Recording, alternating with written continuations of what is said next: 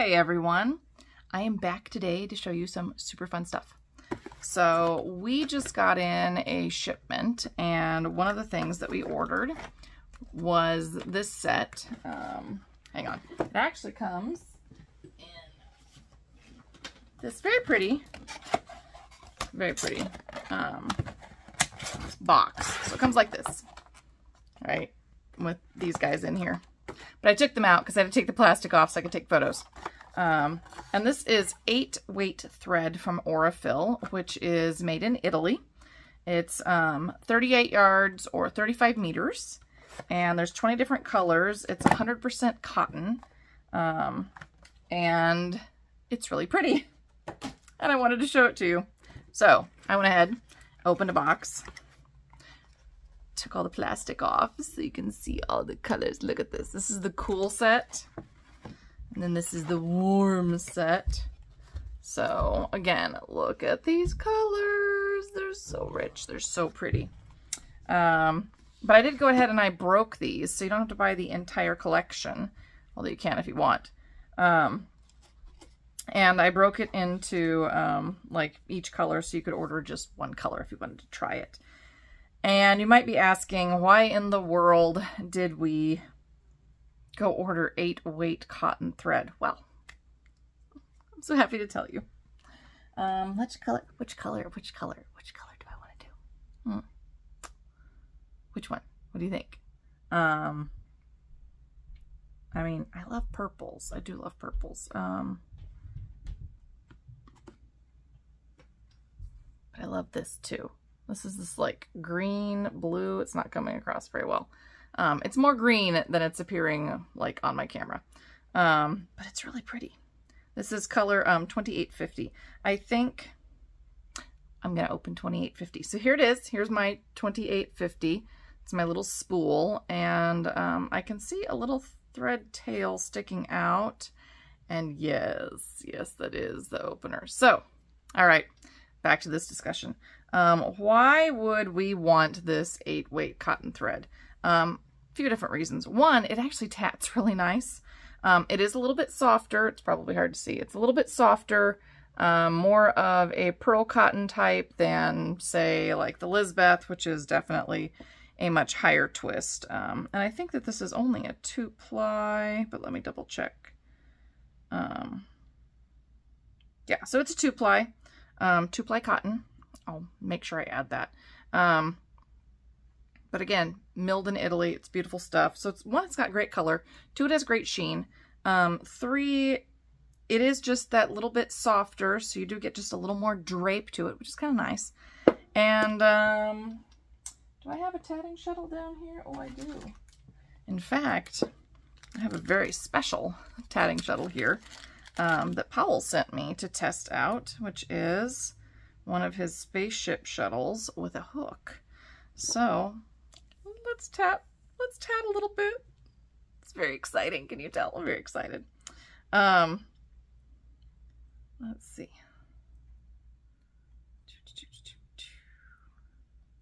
Get this all wound on here and ready to tat. I I'm not gonna lie, I did finger tat with this at H&H, um, which, you know, not my ideal, but I didn't have any shuttles with me there. I was working on other things, so um, I didn't have any shuttles, but let's just, okay, I have like just a tiny, tiny little bit. So we're kind of testing out Powell's, you know, shuttle and the thread. Um, but this stuff is smooth. Um, it's very smooth and it's not super fuzzy, which is nice. It would be good for um, hand embroidery if you wanted to do that. It's actually meant as like a hand quilting collection, I think. Don't quote me on that. Oh, it's nice though. It's nice. Let's put in some picots. Um, which, I mean, I expected nothing less. The stuff is milled in Italy. They do know what they're doing there. Um, and of course, Powell shuttles, very nice as well.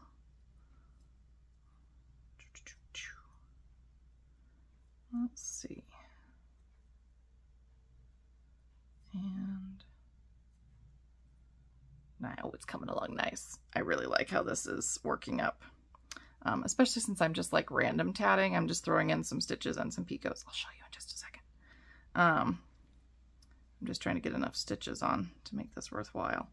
So yes, nice stuff. Uh, the next thing that I want to do is try it out with some um, Mediterranean knotted lace because I'm curious how that would look because, you know, I want to know all things. Um, could you knit it? Yes, you could knit with this. Um, could you crochet it? Yeah, you could crochet this. Um, so here we go. Here's my, my little tester. Um, very nice little stitches. Um, and again, it is only a two ply, so you do have to be a little bit careful because your picots are going to open up just a little bit more. And I do mean that in terms of, um, don't know if you can see, come on, doo -doo -doo maybe, there we go. Uh, you can kind of see that the picots are starting to twist open just a little bit. Um, but there we go. Beautiful, soft, open, lovely little sheen on that. So you could definitely tap with this.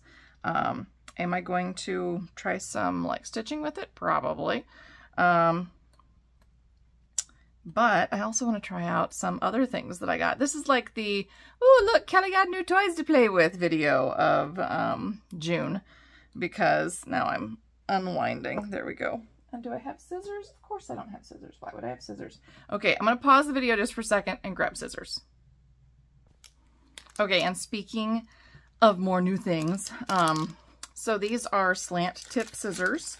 Tina actually spotted these. And we brought them in because they are curved. So they have this nice little slant tip so that you can get down into something. Um, let's see. And I just cut my thread, but anyway, you can get down into it and then you can clip at an angle so that, boy, this is really not going to show up, but so that you can get um, pretty close to whatever it is that you want to do. Oh, that's not, uh, there we go. Ah, I can't get it. Helps if you have some tension on it. Let's do a little bit of tension. There we go. Now that was a nice cut. Anyway, um, so it's really nice when you're trying to trim things off at a slant. Um, but it is important to remember that it's good to have the uh, tension on your thread when you're trying to trim it off. Because, it, well, I mean, it, there's lots of reasons for that, but it works better. Anyway, so slant tip scissors, these are super cool. So these just came in.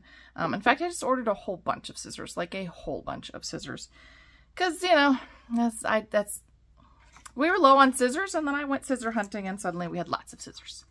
Um, and another thing, so I just brought in a whole bunch of different tulip needles. So this is um, Tulip. Tulip is a company from Japan.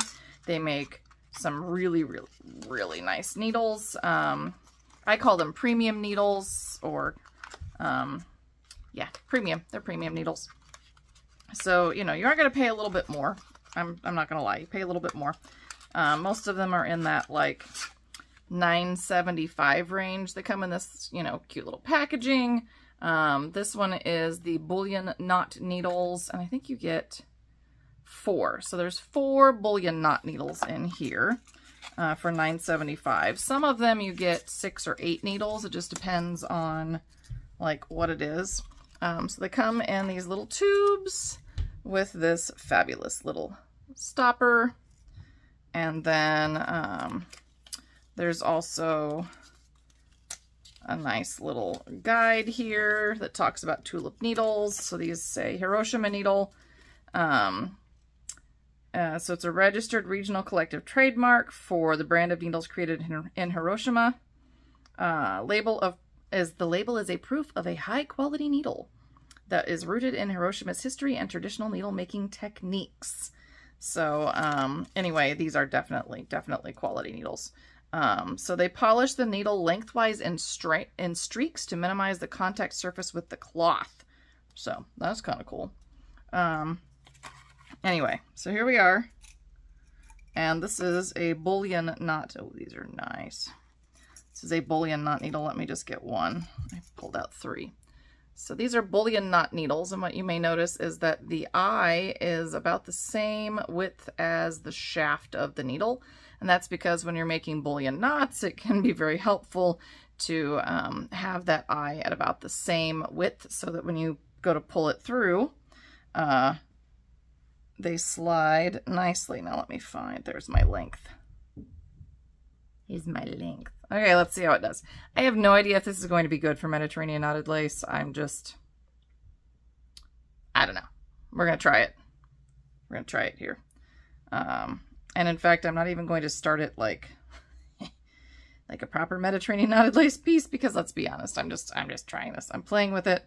Uh, so I'm just going to wrap my tail around and um, we're just we're just to go for it. So uh, let's see what it looks like. So I can already tell you, slides nice. So even though it is um, only a two ply, and even though it is eight weight, which is a little bit bigger thread, um, yeah, it's nice, feels good. Um, I do have a feeling it's going to be a little bit twisty for this. I think knotted lace really benefits from a three ply, but you know, we can do it with two ply. So it's a little too much. I know, I'm like watching my hand, sorry. Can't even see what I'm doing. Uh, but I'll tell you, boy, this needle feels good in my hand. I really, I love um, the tulip needles. I love them. Um, the bullion knot needles, definitely very, very nice for this. Uh, I'm going to have to try making some bullion knots though and see how they do. So definitely, um, okay, thread is not bad. It's a little bit hairy. We'll have to see as we work with it um, whether that is going to cause a problem, but I bought something else that might help with that. I know, I'm just showing you all the fun stuff now. It's all the fun stuff. This is like Kelly's, I don't know, Kelly's surprise day, Kelly's happy day. Kelly ordered a bunch of stuff and I want to show it off day. Um, so anyway, here's here's the thread. So you can see I've got just a little bit of fuzziness maybe. See that little dab of fuzziness at the top there. Um, but the needle works very well. So let's see if we can mitigate some of that fuzziness with thread magic. So um, longtime tatters might remember a product that was called Thread Heaven. Of course, longtime crafters. Um, so there was a product that used to be called Thread Heaven, and it was this really awesome stuff because it was a thread conditioner and it was similar to beeswax. And I do like beeswax and I do use it in my embroidery. However, I have to say um, the Thread Magic is a little bit better. Um, it's a little bit thinner. There's a little bit lighter coating when you use it. It's um, It coats a little more evenly. And uh, anyway, I brought this in. So I did bring it in in both the squares, um, which look like this, and they actually have a little thread cutter on the bottom. I don't know if you can see that, but that's a thread cutter. So you can pull your thread up through there and cut it. Um, and I liked that this one had the the little uh, the lid that can't get can't ever be lost. Um, so Thread Magic squares, and then um, I don't know if you can see on the back of the package, but they also come in a round. And I have this one, I've had it for a while, but I couldn't figure out where to um, source this from. And I finally figured out where to get this. So now I can get these squares and the rounds. And this is a thread conditioner. So um, it it's fine for both machine and handwork.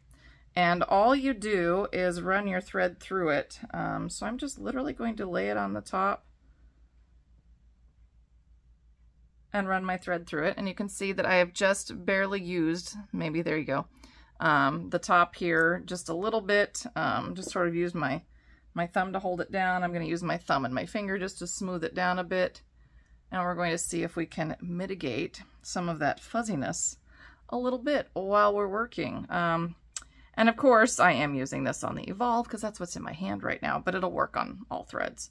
And I can tell you that I have used it on DMC, I've used it on Lizbeth, I've used it on Olympus, um, I've used it on Petaluma.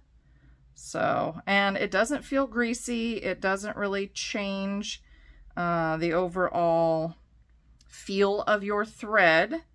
Um, except it does make it just a little bit smoother to work, which is nice. It All it does is it sort of coats um, those little fuzzies that are trying to slip away. so that they don't create as much of a problem. Um, and I can already see the difference. I don't know if you'll be able to, but I'm going to show you. Um, I can already see the difference here on my thread. So uh, let me separate them a little bit. So this side, this side that's a little bit fuzzier, didn't have the thread uh, magic on it. And this side that's just a little bit smoother did have the thread magic on it. So you can see there's still some little like flyaway tidbits. Um, hopefully you could see that. There's still, still just a few little flyaway tidbits on this side but there's far more on this side, which didn't have any of that thread magic coating. Uh, so yeah, that's, um, that's thread magic. That's what it does. And um, the last thing that I want to show you, because yes, I have one more thing. I do, I know. I have so many fun things to show you. Anyway, um, it's this guy. This is Hugo's Amazing Tape. So I actually had someone who told me about this at the Shuttlebirds Workshop years ago now. And I do mean years. Um, I think Ina was probably a baby or maybe one mm, maybe, uh, when they told me about this. Um, and they asked if I could find it, and I looked and looked and looked and could not find this stuff. And they may not have exactly told me about Hugo's Amazing Tape, but it was something very similar. Can't even get it open. There we go. And this is a non-adhesive tape. So there's no sticky. There's no sticky on this. But what's really cool about it, I have to find the start. So it's clear, but it's stretchy. See how it's stretchy? That's important for later. Okay, let me cut this with not the good scissors. All right, so now I have my thread here and I want to store this.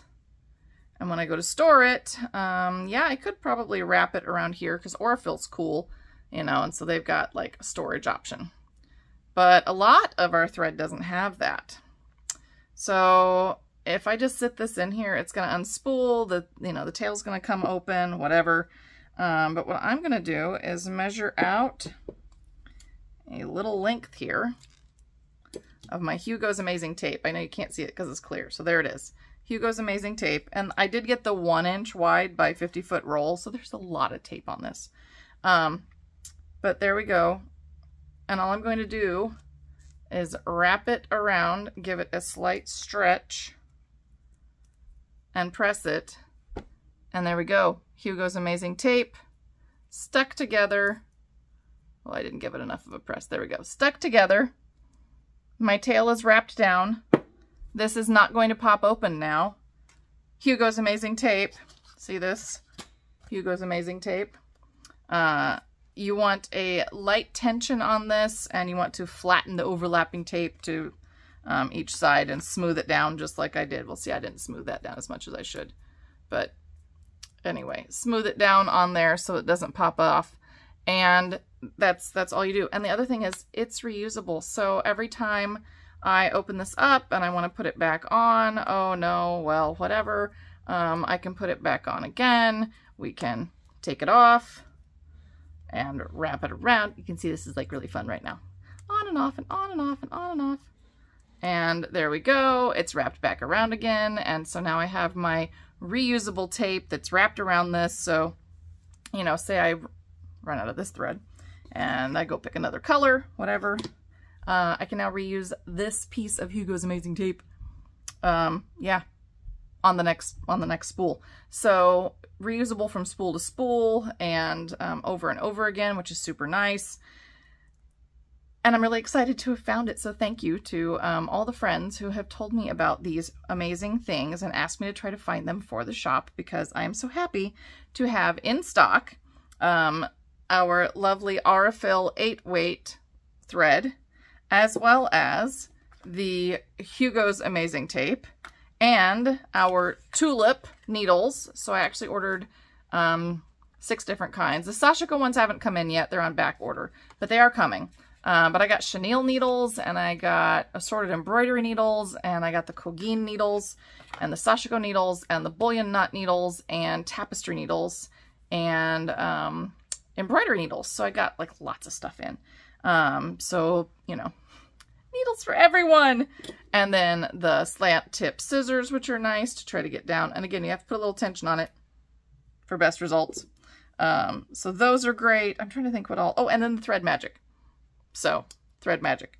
Anyway, all of this stuff has been on the market for a long time, but now, now you can get it all in one place at a Twisted Picot because it's all here. And um, that's really exciting for me. I know I'm kind of weird, but that's okay. You all are here watching me, so you must embrace my brand of weirdness. And so thank you so much for being here. Uh, if you haven't signed up for the newsletter, make sure that you do that because I do try to send that out about once a month and tell you about fun things going on. I am, spoiler at the end of uh, my video here, I am going to be running some classes, some evening classes. Uh, I'm going to do a beginning Mediterranean knotted lace class. Um, let's see, this month, June 2024. So that's going to be the 16th and 23rd from 6 to 8 p.m.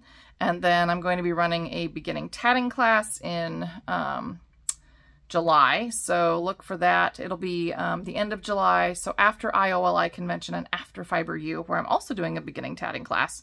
Um, but if you happen to miss out on the Fiber U class, then you can join in the online version as well. And um, that one will be five hours total. Um, I'm trying to cut it down just a little bit from six. We're going to try to do two, two and a half hour sessions, and I think we'll be okay. Because um, I also limited the participation a little more than I usually do. So anyway, um, let me put away my bullion knot needle while we talk. I do, I really, I don't know. I'm, I'm such a sucker for like packaging. Okay, sorry. Uh, so those are coming up and we will be at places. So we're going, we're, we are going to the Iowa IOLI convention. That is our next stop. We'll be there for, um, let's see, the beginning of July in Franklin, Tennessee. And then uh, middle of July, I'll be at Fiber U. And then in August, we'll be at Palmetto. And then um, October, I will be over in Oklahoma for Lace Embrace. And then, let's see, Oklahoma in late October. Oh, and then November is Ozark Fiber Fling. So tons and tons of fun things coming up. Um, and I hope that you'll catch us at one of those events. And if not, make sure that you like and subscribe to all the different places that we are. So Facebook, Instagram, um, TikTok, YouTube, uh, the newsletter, and uh, I do try to put up various content in all of those places. So um, like here, you actually get to watch me trying and playing with all the fun stuff. Um, and recommending it and recommending it because, you know, for the most part, I bring things in to the shop that I would want to use or that Tina wants to use. It's stuff that we, we try and we vet before we bring it in for you because, you know, we want to make sure it's good stuff. Um, and, and we approve of it. But anyway, I am going to go play with all of my new little goodies uh, now that I have broken them all open on video and showed you. So anyway, please take care of yourself mentally, emotionally, physically, and craftually. Don't forget to go shop the website. We have free shipping at $85 plus all the time, um, at least of the filming of this video. So $85 plus free shipping, and the code for that is free sheep smushed together. It's also listed on the website, so you can find it there. So anyway, I hope that you are having a really good start to your summer, or for my Southern Hemisphere friends, a start to your winter. And I will see you all next time. Bye.